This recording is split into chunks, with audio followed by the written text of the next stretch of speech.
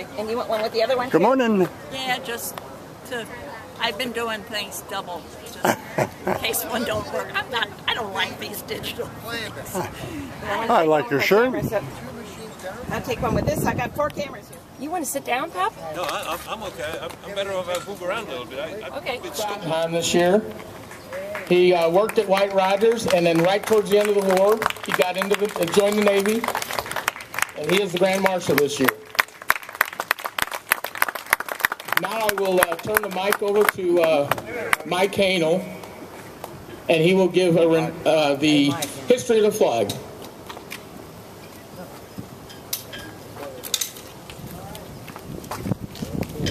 All right, we're going to uh, have Sherry here sing our national anthem to get started. And I'm going to turn the mic over to her. And if you want to join in, feel free. Please do join in because I'm not the usual singer. Say, can you see by the dawn's early light what so proudly we to our country, enable us to be better patriots, true citizens, and more loyal Americans. To thy glory and to thy honor of this great nation. Amen. Amen. Okay. That we may better understand the meaning of our flag, I call upon my brothers for the history of the flag. Heraldry is as old as the human race. The carrying of banners has been a custom among all peoples in all ages. These banners usually contain some concept of the life or government of those who fashion them. The evolution of the American flag marks the progression of the government of the American 1818, the number of stripes should be 13, and that the blue field should carry one star for each of the 20 states in the Union, and that a new star should be added for each state thereafter admitted.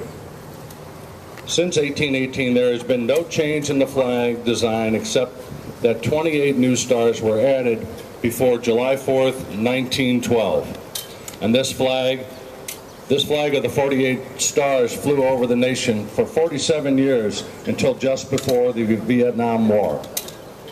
On July 4th, 1959, a star was added for Alaska, our first non-connected state, and a year later, Hawaii, our island state, added a 50th star. Our present flag, 50 stars and 13 stripes. For millions of poor and oppressed refugees abroad and stands as a promise that the underprivileged will not be forgotten. What is the meaning of the flag of the United States? There can never be a definite answer to that question.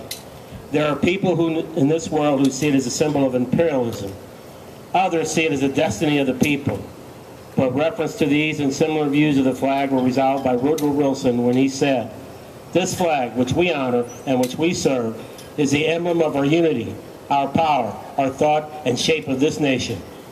It is no other character than which we give it from generation to generation. The choices are ours. Only true love, true love of our fellow man can create peace.